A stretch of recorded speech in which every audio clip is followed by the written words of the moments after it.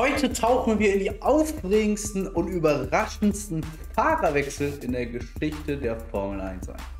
Einige dieser Wechsel haben die Karrieren von Fahrern auf ein wirklich neues Level gehoben, während andere in Dramen und Kontroversen endeten. Der erste Fahrer ist vielleicht der größte Schock der jüngeren Formel 1 Geschichte. Michael Schumacher kehrt 2010 zurück und unterschreibt beim Mercedes-Team. Nach drei Jahren im Ruhestand und sieben Weltmeistertiteln hätte niemand gedacht, dass wir ihn noch einmal in einem Formel 1 Cockpit sehen würden. Doch Schumachers Ehrgeiz trieb ihn irgendwann wieder dann zurück auf die Strecke. Doch wirklich viele fragten sich eigentlich, warum ausgerechnet Mercedes?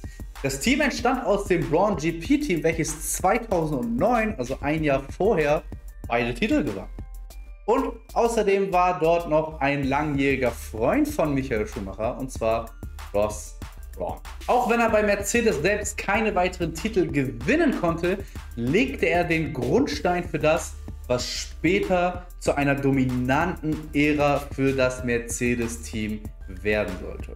Obwohl auch die Ergebnisse hinter den Erwartungen zurückblieben, ist dieser Wechsel wirklich unvergessen. Schumacher half das Team aufzubauen, das später mit Lewis Hamilton in eine Ära gehen sollte, welche wirklich dominiert wurde von Mercedes. Es war mehr als nur ein Comeback. Es war der Beginn eines neuen Kapitels in der Formel 1 Geschichte. Nach zwei aufeinanderfolgenden Weltmeistertiteln bei Renault galt Fernando Alonso als das neue Gesicht der Formel 1. Sein Wechsel zu McLaren im Jahr 2007 sorgte für wirklich sehr, sehr großes Aufsehen. Denn das britische Team hatte eine lange Tradition des Erfolgs und versprach Alonso ein Auto, das ihn weiter an der Spitze halten würde. Ja, so weit, so gut, aber was folgte, war ein Jahr voller Dramen. Alonso's aufstrebender Teamkollege Lewis Hamilton, damals ein Rookie, stellte sich als härterer Gegner heraus, als es eigentlich ja, sein sollte. Es kam zu internen Spannungen, die so weit gingen, dass Alonso das Team nach nur ein Jahr wieder verließ.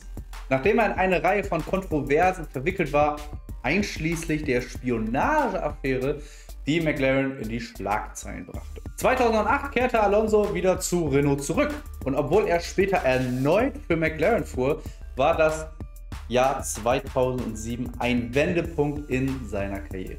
Es war ein Wechsel, der vielversprechend begann, aber letztendlich in ein Desaster endete und die Dynamik der Formel 1 nachhaltig beeinflussen sollte.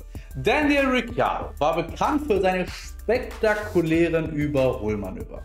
Nach Jahren des Erfolgs bei Red Bull entschied er sich 2019 zu einem mutigen Schritt, den Wechsel zum Renault-Team. Doch warum verließ er ein Team, das ihm die Möglichkeit bot, regelmäßig um Siege zu kämpfen? War ein Team, das noch im Aufbau irgendwo war. Ricciardo suchte nach einer neuen Herausforderung und wollte sich in einem Team beweisen, das noch nicht zum absoluten Spitzenreiterteams gehörten. Tja, und die Ergebnisse, ja, die waren irgendwo gemischt. Obwohl er einige beeindruckende Leistungen zeigte, darunter auch Podiumsplatzierungen, kämpfte Renault darum, die Lücke zu schließen. Doch Daniel Ricciardo tatsächlich bewies seinen Wert als Fahrer und hinterließ einen bleibenden Eindruck und wechselte dann auch relativ schnell zum McLaren-Team wieder. Im Jahr 2015 entschied sich der vierfache Weltmeister Sebastian Vettel für einen der prestigeträchtigsten Wechsel in der Formel 1 Geschichte. Von Red Bull zu Ferrari. Doch dieser Schritt war nur mehr als ein Teamwechsel. Es war die Verwirklichung eines Traums. Vettel, der sich stets als großer Fan von Michael Schumacher sah, wollte Ferrari wieder an die Spitze führen, wie es sein Idol ins Tat. Vettels Ankunft bei Ferrari wurde von großen Erwartungen begleitet.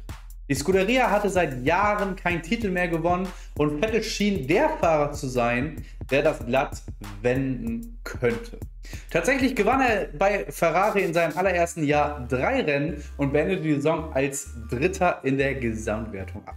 Doch trotz vielversprechender Anfänge war Vettels Zeit bei Ferrari von Rückschlägen geprägt technische Probleme, strategische Fehler und die aufstrebende Konkurrenz von Lewis Hamilton und dem Mercedes-Team verhinderten den ersehnten Titel. Nach sechs Jahren ohne Titel, die Ende 2020 dann endete, blieb er bei Ferrari ohne den erhofften Erfolg. Doch er bleibt eine wichtige Figur in der modernen Geschichte des Teams. Obwohl der Titel ausblieb, war Vettels Wechsel zu Ferrari ein Versuch, Geschichte zu schreiben. Ein Versuch, der ihn sowohl als Fahrer als auch als Persönlichkeit wirklich wachsen ließ.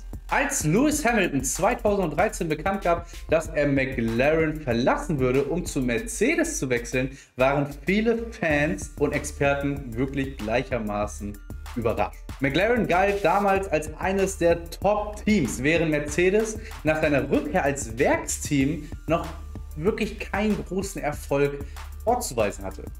Also warum denn jetzt dieser Wechsel? Hamilton sah etwas, was viele andere tatsächlich nicht sahen. Und zwar das immense Potenzial, das Mercedes in sich trug. Er vertraute auf das Team und seine eigenen Fähigkeiten und er sollte ja, am Ende wirklich recht behalten. Nach einem Übergangsjahr 2013, in dem er sein erstes Rennen für Mercedes gewinnen sollte, begann eine beispiellose Dominanz. Hamilton gewann von 2014 bis 2020 sechs Weltmeistertitel und führte Mercedes zur längsten Erfolgsserie in der Geschichte der Formel 1. Dieser Wechsel war nicht nur eine der klügsten Entscheidungen in der Formel 1-Geschichte, sondern definierte eine ganze Ära. Lewis Hamilton wurde durch seine Zeit bei Mercedes zu einer Legende.